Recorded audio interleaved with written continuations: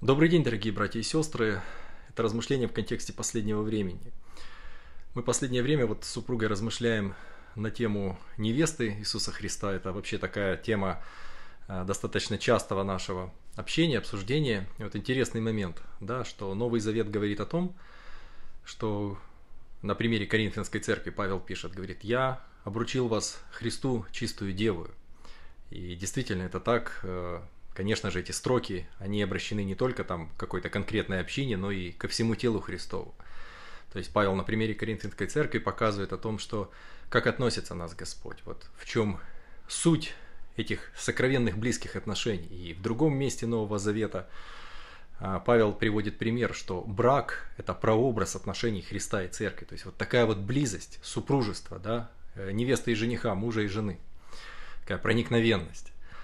И вот э, о чем, да, о чем я хочу сейчас сказать. Вот э, часто задаюсь вопросом, почему многим людям, вот особенно из консервативной среды, из консервативных каких-то общин, направлений христианских, очень сложно понять доскорбное восхищение. А, по причине того, что да, во многих этих общинах искаженное представление о благодати. То есть люди по-прежнему считают себя какими-то грешниками, и вроде бы как Иисус искупил их, но вроде как нужно еще доспастись какой-то своей собственной святостью. То есть э, святость это не продукт отношений с Господом, а это попытка приблизиться к Нему. Вот чувствуете разницу?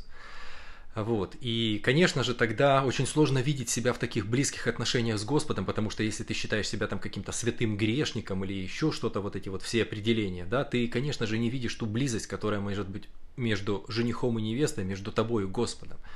Вот это откровение, оно очень сложно вмещается.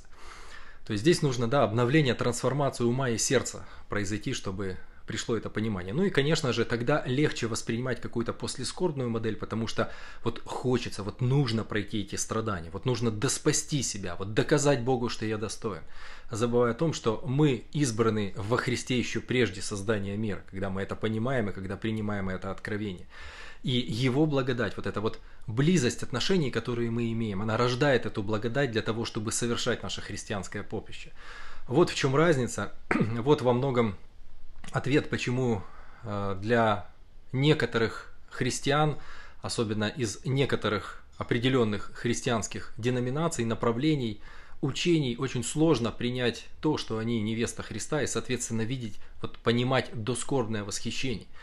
Потому что еще один момент добавлю, вот удивительно, да, Господь оставил нам залог Духа Святого. Это ведь тоже, это же образ а, вот той самой а, символики еврейской свадьбы, тот образ, который даже сейчас существует, да, вот в мире, в мирской такой как бы моде, а, венчание, когда дарится обручальное кольцо. Это символ верности, это символ э, верности намерения, которое со стороны жениха будет исполнено. Конечно, в современном мире это уже все сегодня сказал, завтра забыл, но Господь верен. То есть Он дал нам самое драгоценное, да, вот это кольцо, кольцом этим Дух Святой является. Сам Господь является нашим залогом. И это тоже образ вот этого будущего супружества, которое состоится. То есть Бог, Господь Иисус Христос, Он выполнит это намерение. Он придет за своей невестой. Мы будем с Ним. И это все тоже вот то, о чем я говорю, в копилку этого понимания. Нужно увидеть себя невестой Иисуса Христа, нужно это осознать, пережить, и тогда многие вещи и последнего времени, и тема восхищения, они станут на свои места. Э, необходимы правильные взаимоотношения с Господом, нужно видеть себя глазами Господа, э, пережить, принять эту благодать для того, чтобы в конечном итоге быть настоящим победителем во Христе. Маранафа, благословение вам, дорогие братья и сестры.